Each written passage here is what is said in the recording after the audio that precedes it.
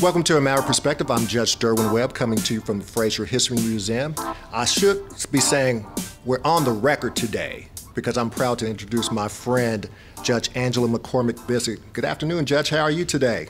Just fine, Judge Webb. How are you doing today? I- am doing great, Judge. This Good. is it's an honor to have you on here because you don't know this, but I've been knowing you for a very long time. Now, of course, I followed your shoes at the University of Louisville, but right. uh, you are well known at the University of Louisville School of Law because I could not get through school without your outlines.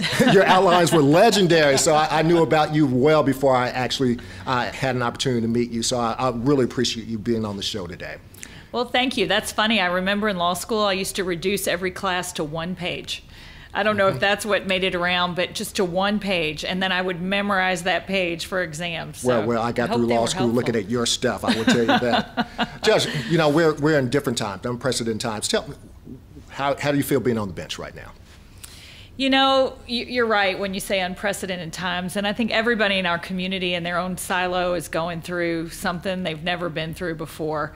And you know, when you're saying unprecedented times, of course, there's the COVID pandemic that we're all dealing with, and the administration of justice has to go on. I mean, the right. things you do every day in family court are so important uh, for our families.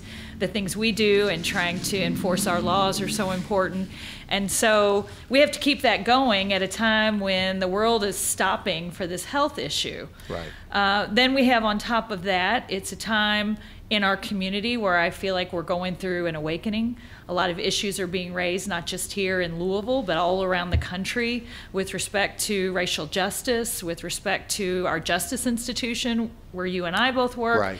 uh, our policing, uh, our government, our institutional responses uh, to people of color. And so being here in the courthouse, we're, we're lucky because our courthouse is right in the middle of our community. We're across the street from our police station. Um, we're across the street from our Metro Hall, where our seat of government is. So we're really in the hub of this awakening that's going on. We've got the pandemic going on. Um, and I happen to be the chief judge right, right now. I was going to mention that. So uh, my job has gone from, you know, being in the courtroom hearing people listening to cases to a lot of administration just trying to figure out the best way that we can keep justice going right. and I, I will say professionally for me uh, i've been on the bench 18 years now it's hard mm-hmm. for me to believe sometimes um, that it's been that long but just um, in the 18 years this has really been the most challenging time for me it's the right. time where i have felt the most personally you know, there's a lot of decisions that need to be made around the virus. What do you do if somebody tests positive for the virus and they're not staying home? What do you do with inmates who are being held on bond awaiting a trial and we can't bring enough jurors down to have a trial? What do you do with families who need decisions made about their children? And how do you do that in a way when you can't bring people together? Right. So it's it almost stressful. feels like we're at ground zero too, yeah. being where we are. So yeah, it's stressful because we all want to get it right. Right. There's not a lot of precedent. I mean, when you look at when our community's gone through this sort of thing, I think the last time we've talked about is, is 1917. Mm-hmm. You know, um, so it's it's been stressful. It really has been. Um, I, I, won't lie about that. well, I'm, I'm going to get to some of those things in a minute, but let, us go back for a second. Um, you mentioned that you've been on the bench for 18 years now, mm-hmm. and you have a pretty diverse background. Tell me what made you want to go to law school in the first place? You know, I went to school at the University of Louisville, where we both did, and I did at the time because I needed to work to, you know, pay my way through school. And I didn't, I didn't know when I started school, undergrad, for sure what I wanted to do. Uh, but I knew I liked all of the things that you needed to do to study then political science, which was what a lot of people did for pre law. I think people are more diverse now in what they study. Mm-hmm. Uh, but I liked reading, I liked writing, I liked, I, have always had an interest in cultures and people of the world and the way things are done in other places. And um, really for me, I got into student government in college and I was just interested in policy and working on those kind of issues. And I thought at one point in my undergraduate career, I really wanted to go into government, meaning I uh-huh. wanted to maybe run for political office. So something more like a, a representative for the state or for the, for the community. And I had Dr. Paul Weber, who's, who's since left yes, us. Yes. Um, and he was the pre law advisor, and I had an eight o'clock, I used to call it his sunrise service, course about the judicial process. Mm-hmm. And it was like a train hitting me because I was interested, like I said, in government and policy and, and what we did. I was a rabble rouser and a protester uh, back then. And I really, when we studied the Supreme Court and the judges, and you looked at major things that had happened in our community, um, it was really through the judicial branch of government. I'm talking about cases like Brown versus Board of Education that desegregated schools, mm-hmm. um, from Plessy versus Ferguson, even the Obergefell case here mm-hmm. in more modern times. And, you know, our founders were so brilliant in having this three part government because our legislature and our executive branch, they're out there in the open, campaigning on issues. Right. The thing that really attracted me about being a judge is that as a judge, you're looking at the law, but you're not setting it. You're taking it and you're applying it to individual people in their lives and their problems. Mm-hmm. So you're the one really in the trench with the people. And although judges are less known, by most members of our community, we're the ones that you're in your government, you're most likely going to have contact with. They're going to have an issue in their family and they're going to see Judge Webb. Uh, they're going to have a family member who, you know, has accused of violating the law or even, you know, a minor traffic infraction, and then they're going to be in front of a criminal judge. And those judges are the ones that apply lo- the law to them. And I really liked the idea of being outside of, you know, that that kind of vitriol that goes forward in poli- partisan politics, mm-hmm. but yet being in a way of government where you're going to be applying law to people and helping get situations resolved. What I do on the civil portion of the docket that I sit on, where I'm applying the laws that we all decide govern us, you know, to, to corporations and organizations and and people with, uh, you know, legal disputes. I, I liked that, so I decided somewhere midway through undergrad, I really wanted to go to law school. And at the same time, I really thought I was interested in, in maybe being a judge one day. So both of those kind of came to me together. So you talked about uh, Dr. Weber, and yeah. Dr. Weber was a big influence. I think Dr. Weber was a big influence of, over anyone that was in political science because he made you want to do more. Do you have yeah. any other role models that you looked on, uh, looked to as you were trying to decide who you were going to become? You know that whole political science department at that time. I don't know if you went through. There was Phil Laemmle oh, there. Dr. Laemmle, yeah. Uh, there was Paul Weber there. Those folks, um, like you said, they they not only inspired you to learn about government, they really did, not in a you know, not in a phony way, in a really real way, beat the drum of you owed something back to your community. Right. So you were looking at not just you know your career, but what what you were going to do in community service. You know, I, I, said earlier that I got involved in student government. A lot of that was Phil Laemmle Um, mm-hmm. I, you know, I, I wanted to be behind the scenes working on things and had decided I wasn't going to run for student body president because I want to have to do this public speaking that came with that. You know, I just wanted to do the background stuff. And I remember he yanked me in his office. You know how Dr. Laemmle was. Uh-huh. He probably threw his jacket in the corner. And he basically gave me a push that I needed and said, What are you doing? Mm-hmm. You know, what do you think you're going to learn just being a student or working on your grades that you can't learn if you try to get involved more in student government. Right. And and it was great that he gave me those that push. So that whole political science department at that time, I feel like was real a real inspiration for me and and the, that point in your life where you're trying to figure out you know who you are and what you want to do and where you can fit in and, and contribute. I don't know if you felt the same way. I, I did. Since we have similar paths. I, I did, guys... and I, will tell you this: for me, I know that I wanted to be a lawyer uh, from the time I was about five years old. But oh wow, it was not until I actually came to the University of Louisville and had a class with Dr. Laemmle that yeah. made me know for sure that I wanted to do something in law. And same thing for Dr. Weber. Dr. Weber, I wrote a book. I have his book on my bench. So every time I go out on the bench, he's out there with me, so so to speak. That's uh, nice. So so that, that department really changed my life. It really uh, validated some things and actually made me see see myself uh, a little bit differently after going through some of those courses, listening to them every day, and and and figuring out what I was going to do based upon some of the suggestions and, and, and, the pushing, as you say, that, that, they, that they gave me. So political science was a great place for me at the University of Louisville. And I suggested to any, any kid thinking yeah. about wanting Chuck to go Ziegler, politics. he taught all about, you know, who, who was learning about Soviet policy back then. I remember Dr. Furdeau, we were learning about, I, I wish I could go back to that class. Uh, it was about Middle Eastern studies, but it, it really was a, a great place, mm-hmm. you know, to be and to kind of find yourself. Right. And, so, so you go from undergrad, so you decide to go to law school at, uh, mm-hmm. as planned, uh, and ob- obviously you do well in law school. You get out of law school and you have to make a decision what type of law you're going to practice. What made you want to go to practice at Brown Todd and Heyburn?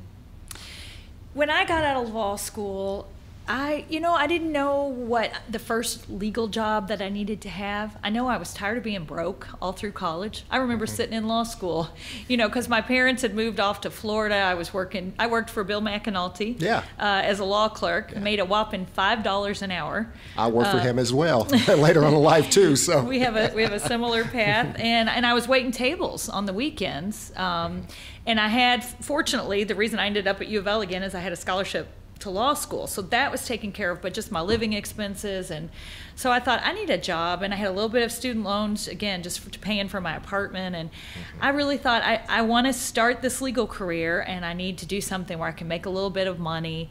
Um, and I interviewed with some of the big firms. I liked the idea that I'd be learning from good lawyers mm-hmm. and learning to write honing my writing skills. You know, we all have that moment. I'm sure you did too, where you mm-hmm. write your first papers in law school and you think you're a writer after undergrad, and they get just, you know, the yes. red pen goes crazy on your papers, right. and you're shocked and you're hurt, and then you say, okay, I've got to learn to be really organized and really precise in my writing. Um, so I really appreciated my time at the firm because it was those things I, I felt like I got to work on most. Mm-hmm. Some interesting cases. I got to learn business law, uh, insurance law. You know, all of those things touch on so much of even what I do now. Right. And I feel like the lawyers were really good lawyers that I right. trained with. Um, and somewhere about six six and a half years into my law practice, I completely did a 180 and went into criminal law. Right, county attorney's office. Yeah. Tell me about that experience. So I did that because I was starting to have my children. And I thought, if I'm going to run for a judge one day, I need a criminal law background, and you know, you don't get that in a civil law firm. Mm-hmm. Um, and it was the early days of the whole movement uh, regarding domestic violence in our community, and those cases being looked at differently. That the dynamic between, you know, an offender and a victim in a regular criminal case and a, a domestic case involving domestic violence, and you know this in spades because of yeah, the work you do. but um, it was the early days of handling that different. And Mike Conliffe was then the county attorney, and he put together this unit of specialized prosecutors and sent us around the country for training. We, we trained with some real gurus of domestic violence and, and how to handle those cases, how to prosecute the case without the cooperation of the victim. Um, and so I, I, don't remember where, I, I, remember I met with Mr. Um, uh, O'Connell, not O'Connell, Conliffe, because I had told him I was interested in, in being a prosecutor, and he mentioned this whole idea of working in the domestic violence unit. And I right away did a lot of research on that and said mm-hmm. I would love to do that, um, and did that for about seven years. Okay. And really, really um, loved that work. I, I miss lawyering the most from from that work, just working with victims and working with all the lawyers you do mm-hmm. and, and advocating. You know, we hang up that role as advocates, right. both of us. I've right. had you in my court before you were on the bench, and, you know, it's a different art advocating. It's much more active, and what we do now in terms of, you know, in, in the courtroom, we're listeners and, right. you know, assessors. Right. Um, so I, I miss that advocating role sometimes. Um, and and like I said, when I my time in the county attorney's office, I really did enjoy it. Now, having been a judge, I would do it differently. Mm-hmm. You know that whole perspective thing. Right. I would handle it differently than I did. I think I was I was pretty hard nosed. Well, let me ask you this: Any notable cases as an assistant county attorney that you can talk about? Um, really, just for me, the whole area of how to prosecute domestic violence cases. Um, was was the big deal. The fact that just a few years prior, if a victim had said, "I, I don't want to go forward," you know, the case was dropped. Mm-hmm. And the fact that we started now, there now these no drop policies are back being looked at again. But mm-hmm. but we really started. We were part of the movement that swung the, the pendulum in the other direction. Mm-hmm. So I don't really, you know, I can remember a few cases. Um, but not so much because they of notoriety, but just because of my work on those cases. I can remember one time I had an individual approach me in my parking garage. I was pregnant with my second son, Okay. and Judge Jeff Morris, who just left Yeah, us just passed, yes. yesterday, you know, a moment for him, but um, he had just put the guy in jail, and he was out on some kind of community service, and had approached me when I had gotten out of my car that day. Um, and I'll never forget that because I felt like I, I wanted to get into the courthouse and tell somebody this this guy had come up and kind of started asking me why I had done what I'd done on his case, and I was Did you feel threatened by I him? did. Okay. I okay. felt threatened, and I wanted to get into the courthouse to get some help. Mm-hmm. But I didn't necessarily want the guy to know I was reporting him because I thought, well, if he could find me now, he's going to find me again. And it was this, you know, aha moment, you know, my Oprah Winfrey aha moment where I realized, oh, that's why that's why victims act that way. Right. They want something to happen, but they don't really want to be the cause of it. So it was a real learning moment. And I had a lot of those. You know, you think you go into working domestic violence cases and you're going to try to be the hero of, of women or men who are victims that you help. And it's not that cut and dry. You know, Right. it's where you really start to learn those skills that you use as a judge that things aren't black and white. There's so much gray. You know, there's so much gray area because it's a family dynamic because mm-hmm. a woman will you know do a lot to want to hold her family together she'll she'll go through a lot of you know whatever whether that's counseling whether that's and so sometimes they weren't happy you were prosecuting the mm-hmm. case uh, sometimes they were but the whole dynamic of of learning about that i think was critical just to my development my human development and my legal development Well, let's let's talk about a, a second about you being approached by this guy because I know as a judge I have been threatened uh, because of decisions I've had to make. Um, I can only imagine the same thing has happened for you, uh, especially as a prosecutor. Have you ever had someone threaten you or felt unsafe about some of the decisions that you've had to make? You know, it's interesting you ask that because, you know, I've, I've been a judge and, and sat and had trials on murder cases, murder for hire cases. I do think, because of what I discussed earlier about as a lawyer, you're in that advocating role. You know, you're saying, mm-hmm. Judge, hold this person accountable, eh, eh, you know, impose this punishment. I do feel like I, I felt more. Um, when I was a prosecutor that mm-hmm. people were you know, sometimes the sheriffs would say that guy said going in the jail he's going to get you or mm-hmm. you know and through APRIS and the Mary Byron Foundation they set up a victim notification where you can know if somebody's going to be released and so I would actually register as a prosecutor on some of the cases that I worked on. Mm-hmm. Since I've been on the bench there's been some of that um, it's been limited, but there's been some of that. I, you know, our sheriff's department, our Jefferson County Sheriff's Office, that keeps you and I safe, and all of our colleagues have reported to me some different threats or you know things from the jail from time to time. Um, but I say by and large, I, I feel like we're safe doing our job. I feel like most people understand we're there doing a job. Um, so, you know, I- it's funny because I do a lot of work through our World Affairs Council, mm-hmm. and I have tried to go other places in the world and you know just see other judges. I think it's great to to learn what we do best, what they do best, to Right. share practices and ideas. And it's interesting to me how that that security component is top of mind for a lot of our colleagues around the world mm-hmm. a lot of them. They will ask me a lot about our personal security and those issues. And we're fortunate because I don't think when you, you know, when a group of us as judges get together and, and we talk, we talk about our cases, we talk about lawyers, you know, but usually our security is not the first, second, or even third topic that we all talk about. Right. Um, but but it's there. It's something because you're making. Thankfully, yeah, that's what I mean. I think as a community, it's one of those things, you know, that we're struggling with now.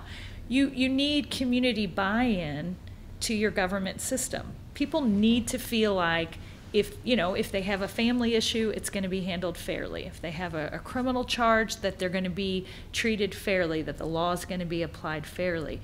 And when the community doesn't feel like that, there's a problem Right. there's a problem because the community by and large now on any given case or any given situation eh, one half of everything we do is not going to win Right. so to speak I mean, that's putting it, you know, too simply. But so of course there's going to be un- people unhappy, and I understand that, and I don't even blame them. You know, we we don't get the crystal ball when we get our black robes. I Right. wish we did. I we wish we all did, wish we did. We do our best to try to listen and get to the bottom and be fair. But again, you can't avoid that one side is maybe going to win and one side isn't. So it's inevitable there's going to be people unhappy with you. But the community, by and large, needs to feel like this is a fair system. Right. And we have a responsibility to make sure it's a fair system. Right, so you go from the county attorney's office, you run for judge, and obviously you win as a district court judge. Can you pla explain to the people that may not understand the difference uh, between being a district court judge, which you, which you won uh, when you first got on the bench, uh, between a district court judge and a circuit court judge?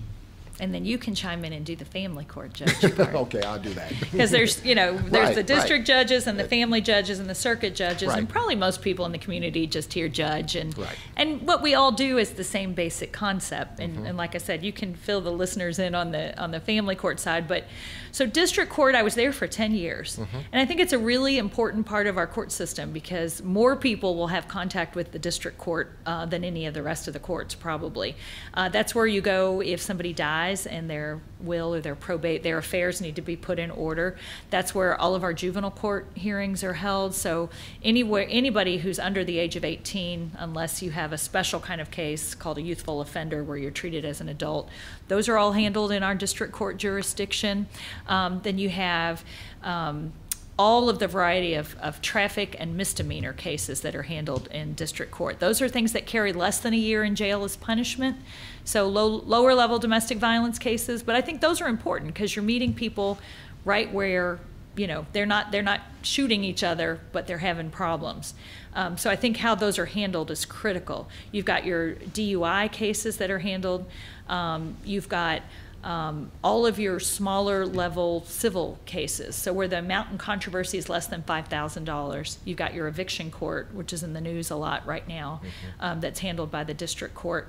So district court does a whole lot of specific jurisdiction things, and I think it's a really important court because they have a lot of involvement with the community. There's a lot of important decisions that are made there that really I think make a difference, especially if you can get people in the right community services and treatment before they get you know to the more serious level.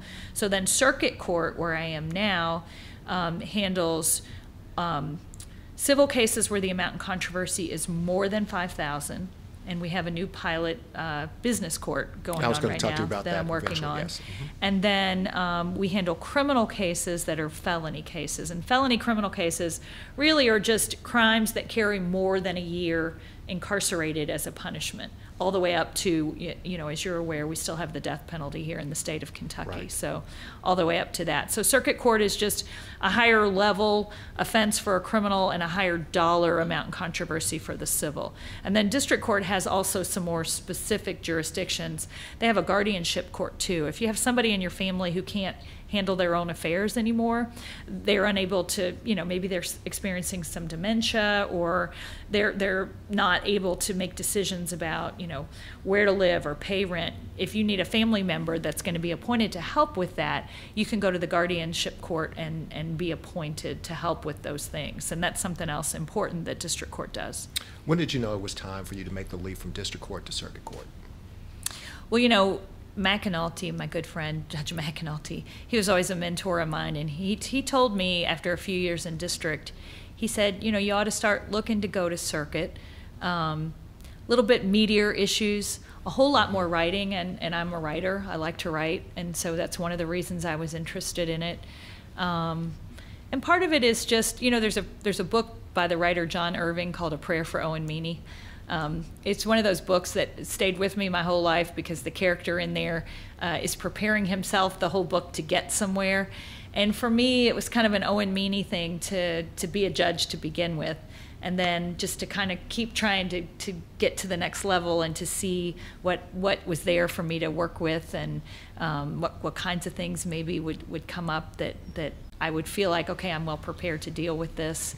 Um, so it was really, but it was a long time. It was ten years because so much of, you know, the other side of what we do that people don't realize is we have to get elected. Mm-hmm. And that's a timing thing. That's right. really a timing thing. You know, most of us don't want to run against somebody who's been there a long time. You want to wait for an opening. You've got to wait for an opening. And then um, I know uh, my good friend Brian Edwards and I were coming out of committee for the same seat. I didn't want to run against Judge Edwards. Mm-hmm. Um, he's a good judge. I like him. Uh, so some of that's just, you know, waiting for the right timing. I think you I remember were interested in maybe being on the bench a few times before. Right, and so you right. you you know i mean a little time before you actually started. So you just kind of have to lay in wait for the right situation and the right race. And you know none of us like to run against somebody we respect and admire. Exactly. Um, so. Well let me ask you this and without talking about future plans um, how does it feel being a judge right now? I know that you talk about always preparing for something next, or the next step, or I'm not talking. I don't want to talk about the next step. Mm-hmm. I know where you are right now. How how it, how do you feel right now being chief judge? Because I know you were the chief judge as uh, in district court. Uh, now you're chief judge in circuit court. But like we said before, these are different times. How yeah. do you feel being the chief judge right now?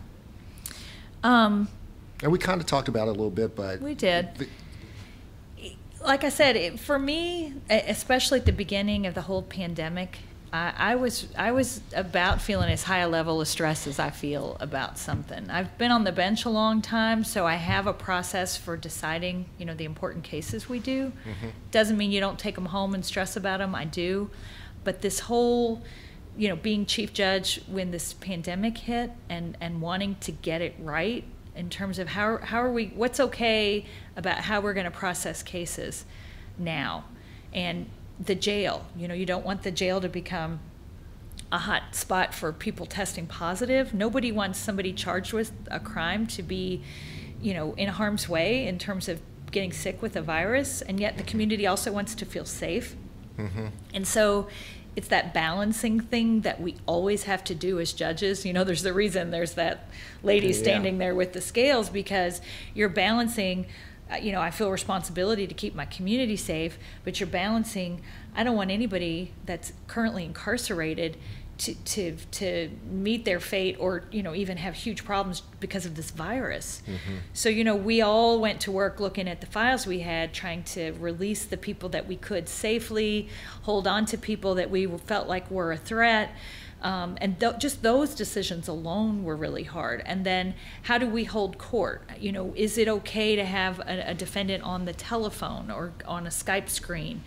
Um, I think judging and lawyering, by and large, is best done in person.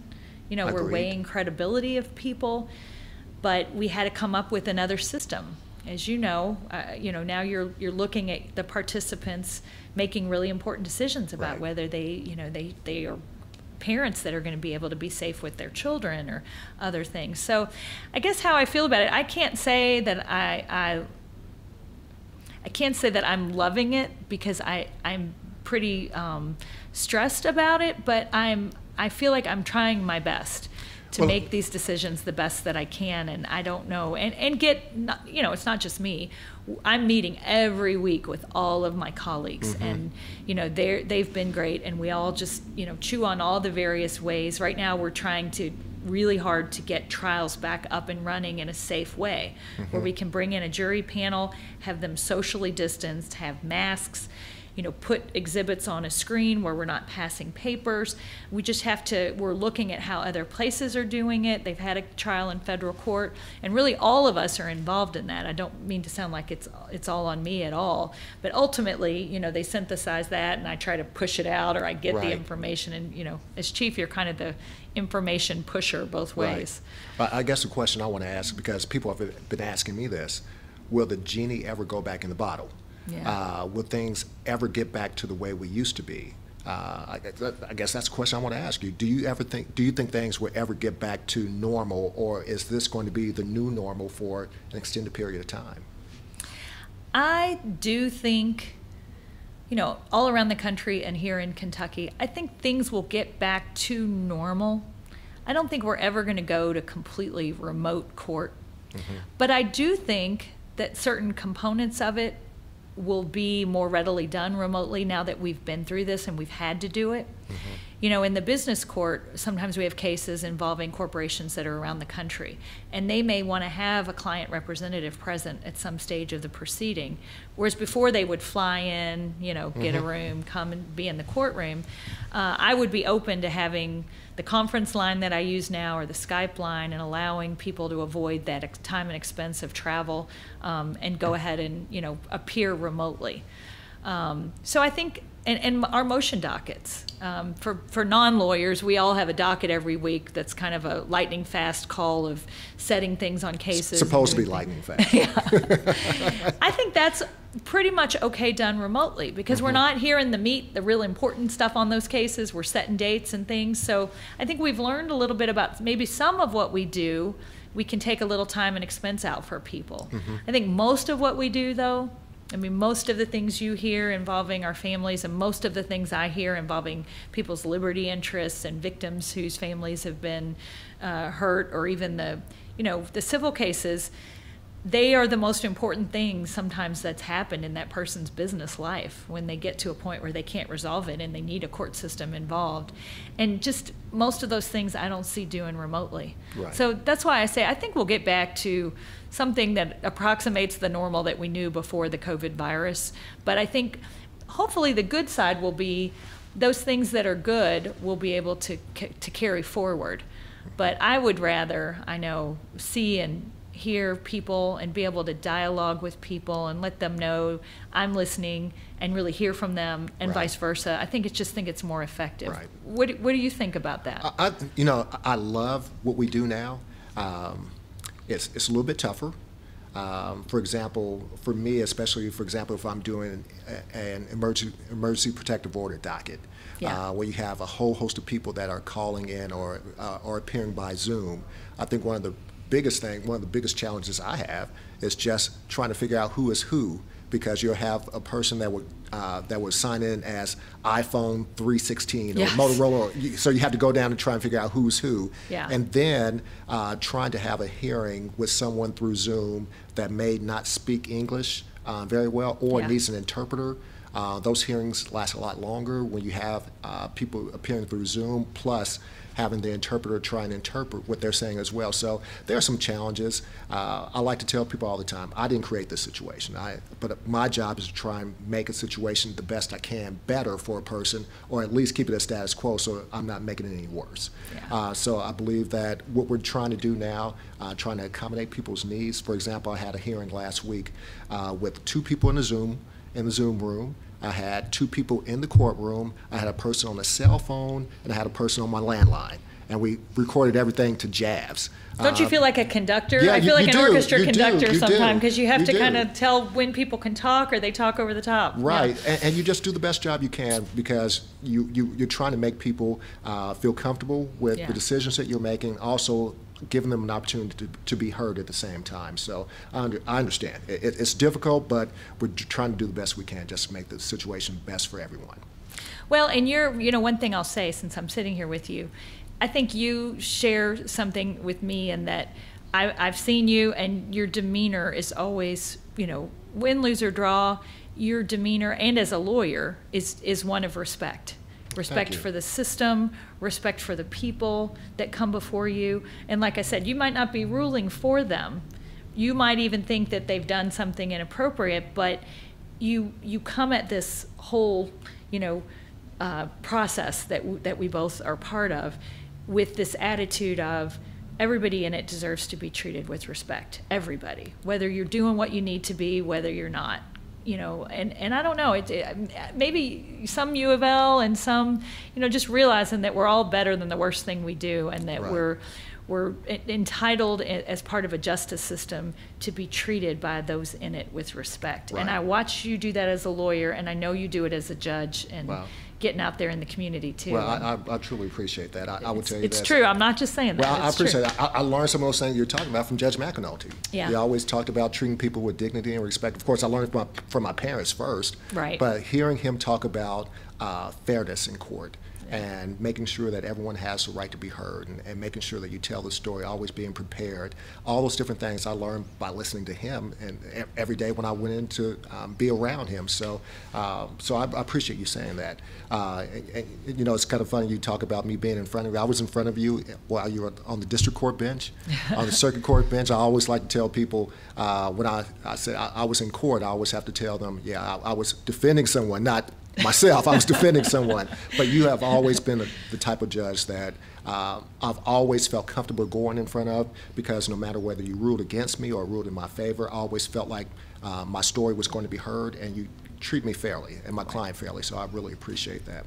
I well, do have one, a uh, couple other questions I want to ask you real quick. Sure. Because one question that came out when someone heard that you were going to be my guest, they wanted to know what decisions, uh, how you determine whether someone got probation or not. So, what oh, are the factors? Really what are the factors that you consider uh, as far as probation? So, just for your listeners, when somebody's found guilty or pleads guilty to a criminal offense, by law there's a range of penalties. So, let's just say, for example, uh, something carries one to five years. So, mm-hmm. one year to jail up to five years in jail. You can say as a judge, you have to go to jail for a year or up to five years, or you can say you're going to have that one to five years probated. Um, and what probated means is you're going to remain in the community. You're going to report into an officer who regularly at some interval, and then they're going to you're going to be subjected to random drug tests. You might have to go to certain kind of counseling. You might have to go to domestic violence, um, batters intervention treatment. You might have to go to some kind of drug or substance abuse treatment. You might have to go to some mental health treatment. But but probation means you're going to remain in the community supervised. So your question is, how does a judge say this person goes to jail and this person gets to remain in the community supervised? What things do we look at? And I think that's a really good question. It's a good question for the community to be aware of because obviously those two paths are really different. Mm-hmm. And so the law requires us to look at a couple of things. We're looking at whether or not they can safely be managed in the community. So a community safety prong. Do I, as a judge, think if, if we say they're going to be probated, that they're going to do the things we ask them to do and get the treatment that they're going to be asked to get and report into their officer where they might have to undergo drug and alcohol screens. So community safety, do I think that they're going to be able to, to be maintained in the community, but not, you know, cause a problem for any of our families or schools or institutions. We also look at a prong that's a little harder to get your brain around, but it's whether probating someone on this offense would unduly depreciate the nature of what they did. So even if I believe with all my heart, you know, somebody's remorseful and they're sorry and they're ready to do what they need to do to, to get on a better path, but but whatever they did was just, you know, horrific um, you know, and I've had cases where somebody has maybe permanent vision loss, or a victim, I mean, a crime victim, mm-hmm. something that's permanent for them, or a family has lost someone. I tell you, one of the toughest sentencing things are, are DUI homicides uh, because sometimes the person is so remorseful and says they didn't have the intent, although you know you know you get behind the mm-hmm. wheel of a car and driving but then you have this horrible outcome for a family so you have two families, the offender's family and the victim's family, that are both torn apart. And those are just, you know, I always feel like I wish I had some other option because there's no good option there. Right. So you're looking at whether it would unduly depreciate the serious nature of the offense, uh, whether their likelihood what their likelihood is to reoffend, uh, whether we think that they can be safely managed in the community, and whether there's somebody that's going to do the things that they want to do, that you want them to do to try to get on a better path. Uh, I can tell you, we look at their criminal history. You know, what, what, we all know the old thing our mom told, told us the way you see how somebody's going to act is not by what they say, but what they do. Mm-hmm. So you look at do they have a history of domestic violence? Do they have a history of we get a report called a pre-sentence investigation that it contains a lot of this. So it has somebody's criminal history. We can see now the only thing we consider is what you've been convicted of. We don't consider charges that have been dismissed, but they they have that. Then they have your employment and you know just if you think about it, if you were making that decision if somebody's out and in the community supporting themselves supporting their family and somebody who, for whatever reason, hasn't gotten to a place where they're working regularly, you might consider are they somebody who's going to be able to be, you know, working and supporting themselves and their family? You might consider their education. You know, have they have they been making an attempt to further their education? Um, all of those things are in, and then we get an ultimate kind of risk assessment that's data driven, mm-hmm. and so it says, you know, your your your it goes through a whole number of categories and it gives us a risk rating. And we have all of that information before us, and then we have, of course, the fine arguments of lawyers before us. And in balancing all of that, we reach a decision. And if we decide to send somebody, one little nice gatekeep we have is that you can grant them shock probation too. Mm-hmm. So you can send somebody that you think, oh, this would unduly depreciate what they did, or this person just keeps offending and we, we're not getting their attention. You have a, a, a door somewhere between 90 and 180 days where you could also probate them later. Not on mm-hmm. all offenses, not on uh, certain violent offenses you can't, but so you could maybe send them to send that message and then shock them out later. But okay. it's a tough; those are tough calls. Right, they are, and I'm glad I don't have to make that decision. I do have one last question for you. Sure. Uh, you as you stated before, you are in your 18th year, so you're, you're a stone throw, stone's throw away from 20 years on the bench. If you were to retire soon, or somewhat, you know, after 20 years, how do you want people to remember you? Um, you know, uh, just a couple of things I would want people to remember. I think the first thing to me is, is really what you already said, so I appreciate that. I would want people to think when they came in my court, they felt like I really listened to them and that I was respectful to them. Mm-hmm. You know, whether I did the right thing or not, it would really mean something to me if people thought that. So outside of that, that really basic thing, uh, I've tried to work on a restorative justice program in our court system. Um, and some people think, oh, restorative justice, that sounds really kumbaya, soft on crime.